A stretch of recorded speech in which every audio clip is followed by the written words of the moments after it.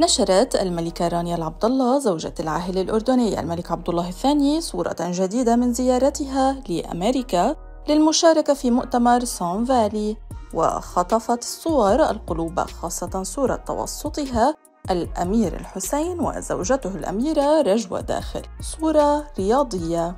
وتضمنت الصورة ظهورا فردي للملكة رانيا في أثناء المشاركة في المؤتمر الاقتصادي. أما الصورة الثانية فظهرت فيها الملكة رانيا داخل عربة الجولف وهي تجلس خلف الأمير الحسين وزوجته الأميرة رجوة وتتوسطهما بطريقة عفوية. واختلفت الآراء حول الصورة إذ وجد البعض أن تصرف الأميرة رجوة غير لائق ويعتبر إهانة للملكة رانيا في أول مهمة رسمية لها.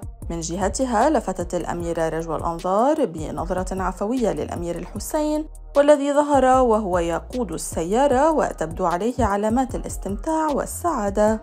يذكر أن الملكة رانيا تشارك بتواصل صورا جديدة من مشاركتها في ملتقى سانفالي وكان آخرها صورة خطفت بها القلوب بلقطة عفوية.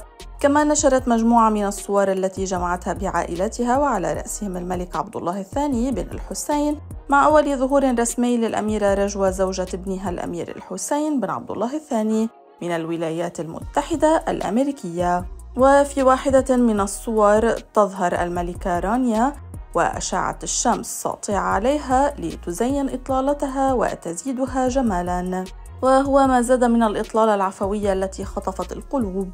وعن إطلالتها فاعتمدت الملكة رانيا على فستان كحلي صيفي بنصف كم باللون الغامق مع صندل صيفي باللون البني. وزينت إطلالتها بتسريحة شعر مفرودة ناعمة كعادتها ومكياج أبرز جمال ملامحها ومنحها لمسات ملكية أبرزتها الصورة الأخيرة التي شاركت بها الجمهور في أحدث ظهور لها.